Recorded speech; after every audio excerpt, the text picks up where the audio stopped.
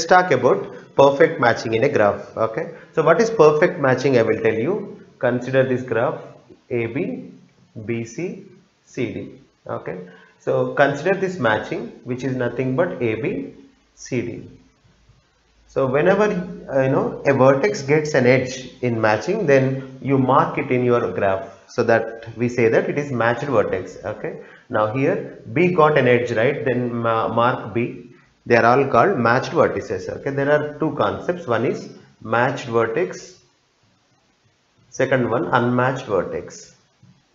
So it is easy to observe that with respect to this matching every vertex is matched right? So see the matching and tell me. Every vertex got one edge. In matching then we say that this is a perfect matching okay so this matching is called perfect matching. What is the idea about perfect matching is in a matching because of this matching every vertex is matched vertex then that matching is called perfect matching. There are some matchings may not be perfect. Example consider this one just ab okay this matching in that only b and a got an edge right? But not cd then because of that so only a is matched only b is matched but not cd such matching is called non-perfect matching otherwise it's not a perfect matching.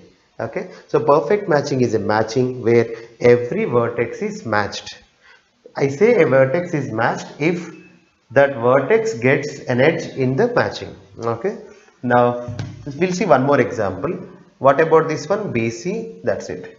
So this is also not a perfect matching. It's very easy because a comma d doesn't get any edge in matching. Then that means so that is not a perfect matching. Sometimes yes but this graph has at least one perfect matching. Correct this one a b c d. There are some graphs whatever the way you try you don't get perfect matching. Example see this graph. A to b let's say b to c and b to d. Consider this graph. Let's add a to c to i mean don't add it like a b c d. For this graph whatever you try. Example ab that's it. Can you add any edge in matching? No. So this is a matching which is not perfect. Uh, maybe you can try a different matching bc but that is not perfect. So whatever the way you try you don't get perfect matching. Because to uh, do perfect matching every ma vertex should be matched. For that we have to consider every vertex into matching. Can we have any matching with all the vertices if I take A to B then you can't take anything else. If I take BC I can't take anything else. That's why there is no perfect matching for this graph whatever the way you try. Then so that's the thing. That means sometimes you may not get perfect matching. Okay. Sometimes some graphs will have perfect matching. Okay. This is the concept of perfect matching. I'll give you one more graph. Tell me whether this graph has perfect matching or not. Example this one. Okay. So is this graph has perfect matching? Yes, absolutely. That perfect matching is AB, CD, EF. Okay, this is a concept of perfect matching. Now, if a graph has odd number of vertices, like let me add one vertex here, 1, 2, 3, 4, 5. Then add any number of edges. Whatever the edges you have for this graph, it is impossible to have perfect matching. The reason there are 5 vertices, right? Each let's say we have perfect matching then how it looks like like A should match to B maybe C should match to D. Obviously one vertex cannot match you know multiple vertices. Each vertex can match only one vertex in matching correct? Then A matches B C matches D.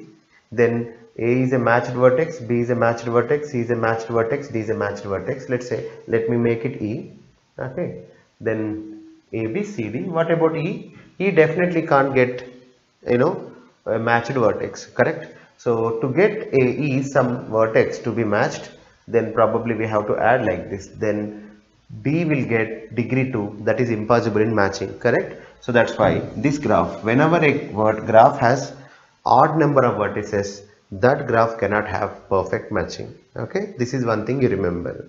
Now second thing if a graph has even number of vertices it doesn't mean that always it has perfect matching.